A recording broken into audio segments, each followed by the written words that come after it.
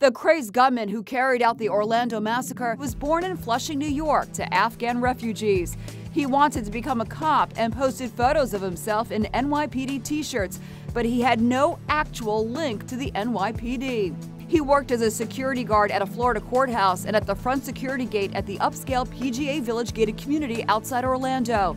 A former coworker says he talked about hating gays and other minorities. He also had a lot of hatred for people, um, black people, women, Hispanics, nor did he like um, gay or lesbian people. The shooter's father, Seddique Mateen, is host of a bizarre YouTube show aimed at his native country, where he claims to be running for president. He has expressed support for the Taliban. He told NBC he visited his son hours before the massacre. You saw your son just hours before he went on this rampage. Exactly.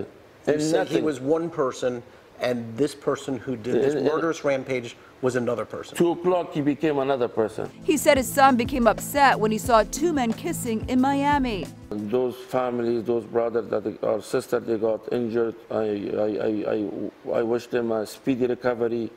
And I hope this never happens to our great land, United States of America. Mateen made a pilgrimage to Mecca in 2012. He was questioned by the FBI for alleged links to ISIS, but was cleared.